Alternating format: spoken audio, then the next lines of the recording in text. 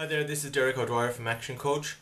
One of the questions that we often get asked by clients is how do I get rid of all this excess stock that I seem to have accumulated over the years?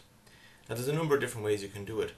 Um, you can have a fire sale where you actually slash all your prices and advertise it like mad in the newspapers or in the on the radio.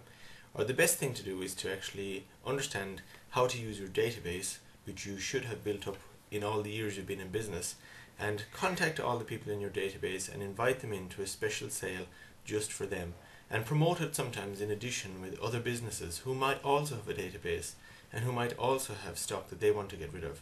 Make it a night, um, a very short space of time, create a kind of an atmosphere for buying, create, if you like, a buying frenzy. A good example of, all, of this always is, if you like, the Brown Thomas um, post Christmas sales where people want to be invited and they see themselves as being part of a bigger group of people that they aspire to be like or that they want to be like. The same is true in small business. If you use your database, invite them into a special event for them and price your um, goods attractively and lay it out correctly and people will buy and you will be surprised at how much stock you can actually get rid of in a very short period of time from your business giving you instant cash. Okay, that's uh, another cash flow tip in terms of how to actually um, get rid of some excess stock in a very quick period of time. Thank you.